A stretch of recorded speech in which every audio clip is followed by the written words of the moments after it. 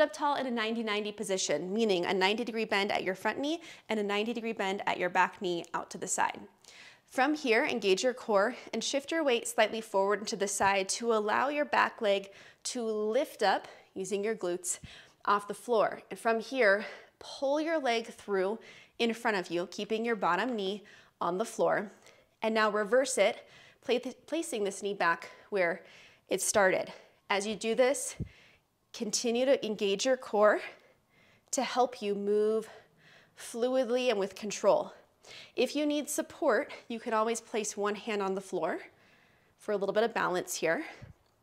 And if you'd like a little bit more, when you place your knee back, then you've got the option to fold forward and across your front leg.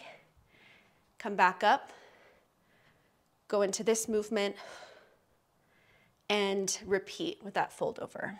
If lifting your leg and pulling it through does not currently feel accessible for you, then you can play with being in this 90-90 position with this hip external rotation and internal rotation. And play with maybe moving forward, folding over that front leg, and leaning back, and just see where you need to hold this position to get a little stretch going.